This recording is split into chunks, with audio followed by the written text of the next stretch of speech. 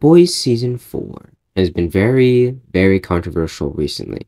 A lot of, I think it's actually the most polarizing season so far, which honestly, I kind of, I kind of understand, but also like, it's mostly because the politics of the season, which feel a lot more not subtle. I mean, it's not. It, this show's never been subtle.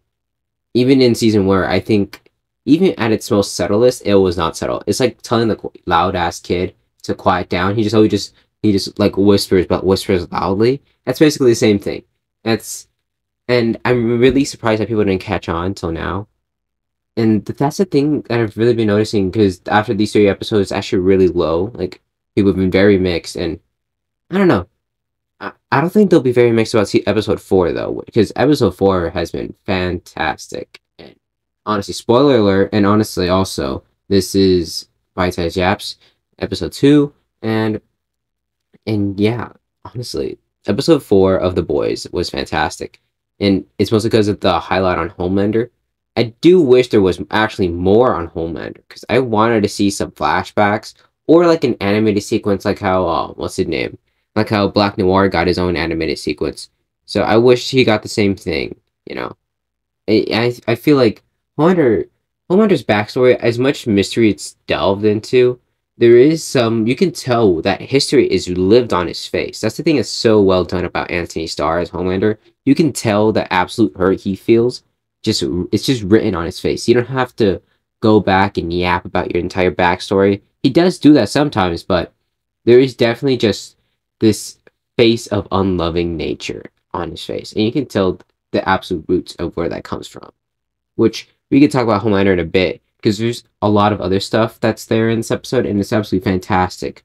Where, like, a lot of Hughie in this episode, which I'm really glad about because he should be the main character of the boys, but no, it's actually Karl, Carl Urban's um, Butcher, which I love Butcher too, but it's cool to see Hughie actually get in fights and shit. Like, he, I didn't know he had the kind of hands. I didn't know he can move around like that. Like, I'm really surprised and really proud of him. And Kimiko really taught him well to slash like the wrists and he really like disemboweled him. And he also cut him in the neck. Man, dude's cold. I expect to see TikTok edits of Hughie, Because man, that was cool shit. And and what else was cool as shit? It was probably like it's probably the fact that Butcher might be a soup again. And I don't know. That's really interesting. And I don't know what kind of powers does he have. The dude like ripped apart. He blacked out and ripped apart that guy in a split second. I don't know what happened. It was crazy. And I don't know what he I don't know what kind of things he's going on, but if he is that kind of power, then oh man, that is crazy. And I also think this is also one of the more bloodier episodes. This show has tons of bloody episodes, but man, this show, this episode was bloody. Jesus. And yeah, it's just a lot of stuff going on. Like Starlight, oh man, Starlight. That, that's stuff that they had going on. Her and um, sis, not Sister Sage, but I mean Sister Sage was a part of that whole plan, but also um, Firecracker. Firecracker was just the face of the plan, but Sister Sage was the brains of the entire thing. Which the thing about that's so interesting is their whole beef with Firecracker and Starlight. And Starlight, man, oh man, they exposed a ton of shit. It's mostly like more personal stuff. They really delved in there, which, man, they're dirty. They played dirty in that one. And man, Firecracker, Firecracker is just like a different breed of what the fuck are you doing? Like 28 with a 15 year old. Why? Why the 15 year old man? There's there's other older people. Why the 15 year old? You're fucking you're pushing 30, god damn it. Yeah, I don't know. It's so gross. I don't just, I just don't understand it. Why the young ones? it's whatever. But she really played that off. Nothing. That's crazy. I don't know. I don't I don't know why people be simping over her either. I don't like I don't understand it. I don't understand why people are simping over Sister Sage. Not oh man, not Sister Sage. I don't understand why people are simping over Firecracker. I mean, yeah, why? Just why? There's Kimiko and shit. Why you have to do this? It's whatever. But yeah, Sister Sage also awesome. She's always awesome. And honestly, I get it deep. I really do get it. It's just so funny how she basically needs the deep as this is as this sort of like escape you know because that's the only way she can do and handle herself is through escaping with the deep who is probably the most brain rot character in the entire show, which is so fun. She she she basically her break the how she can relax is through brain rot, which is so funny. Uh, that's why I love Sister Sage even more. And actually, I was surprised in this episode was Frenchie and how he actually got a good amount of stuff to do as well. And I'm actually glad that they explored more of what he's done and explored. It's really paid off a ton of what this show has been going not show, but what this season's been going for with him and that guy, and really exploring that fucked up nature that he had before. And I don't know how they could like handle it, and I don't know how they're gonna do it again, fix it all up. I don't think it is repairable. We'll see. I don't know if they will fix it up though. And honestly, I don't think Hughie deserves it. But I feel like the theme of this entire episode has been forgiveness. Forgiveness one way or another. Like Hughie forgiving A Train, which oh my god, A Train's on an redemption arc. Good for him. He is running in the right direction, literally. And Homelander actually having his own forgiveness thing, which yeah, forgiveness, forgiveness, and forgiveness. Oh yeah, also what's her name? Um the main reason why Firecracker is just absolutely on a tirade is so tirade on Starlight is because she had no forgiveness for her. Whatso whatsoever. And then there's Starlight who I mean, she feels hurt, obviously. Not because obviously because like abortions and shit. You know, I mean that's tough, you know. That's definitely tough. Man, that sounds terrible. Why can't why can't I sound like MPJ on that um Lana Rhoades podcast? Oh god. Not no. I sound like yeah, I know. Neither way. He, Neither way. MPJ on his on that podcast with Lana Rhoades, and she was just having like this deep moment, and then I just say, "That's tough. That's tough." I mean, well, that's, uh, that's terrible. My bad. My bad. Ah, I slipped up.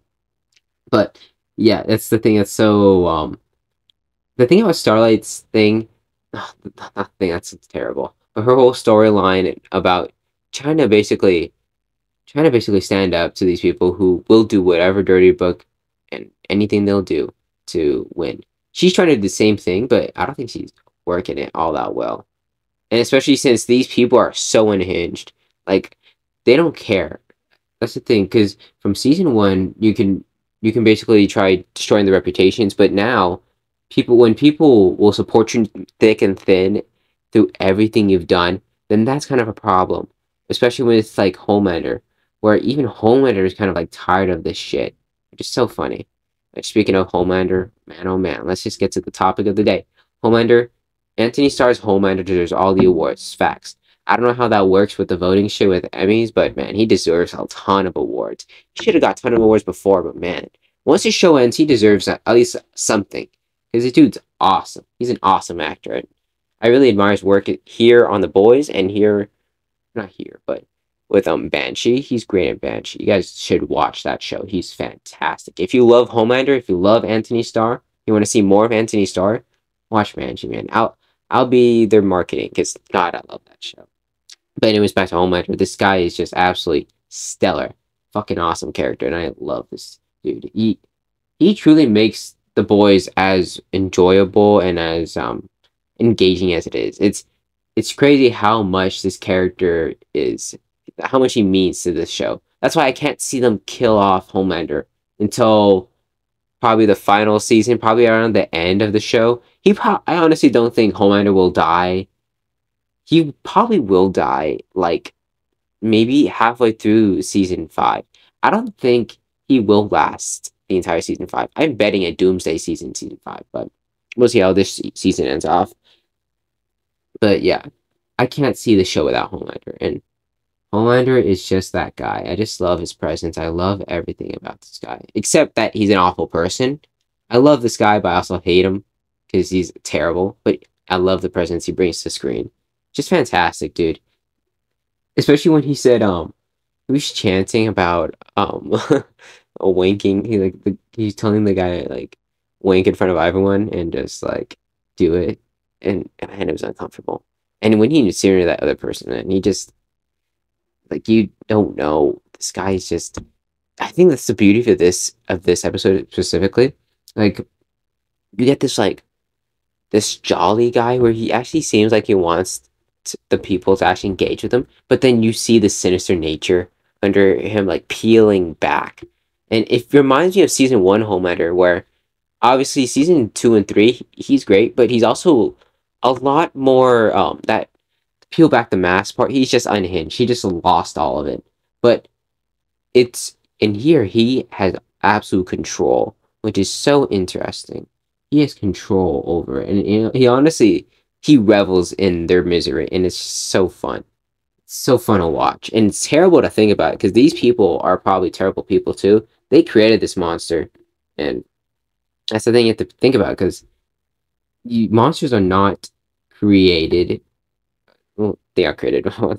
they're not born. They're made. That's the whole mantra. And here, Homelander is that example of what what a monster is, and it's really the environment you're raised in, and that's why it goes in. That shows the importance of Superman's um origin. You know, and it really shows the importance of it and that's why it's just it's really sad to see Homelander. He is truly a tragedy, but also he is responsible for his own actions, which, yeah, it, it's just off. Like the dude got given everything in the world, and he still takes it for granted and honestly uses it. And it's just so fucking, yeah, I don't know. Homelander is just he's such an awesome character to talk about. I can yap about this character the entire time, but I don't want to make an hour long video because editing that sounds terrifying and ah, so tiring. But yeah, overall, this episode is fantastic. Great performances, especially by Antony Starr. Possibly the season's best performance, but yeah, this dude's awesome, and everyone else did awesome. It's just a fantastic episode. Everything is um, smooth sailing. I, I I hope that this episode gets received well because I think it's a great episode. Um, one thing though, I don't I'm not, I don't understand what's happening with Kimiko. Stuff seems okay. I just don't think her stuff so far has been really engaging just in the background, and I don't understand. There's so many characters to balance out on this show. It's just like, wow, so many things going on at once, and I don't know how it's gonna work out and how they're gonna weave these all all these plot lines together to make the finale seem very um very cohesive and actually very well done. I hope it's great, and I really hope this season ends up being one of the better seasons for sure. So far, it's it's okay. It's a pretty it's a really solid season, but we'll see how it works out for episode five. And I'm really hoping for like a fantastic season. And seems like so far we're getting that. And I'm really excited.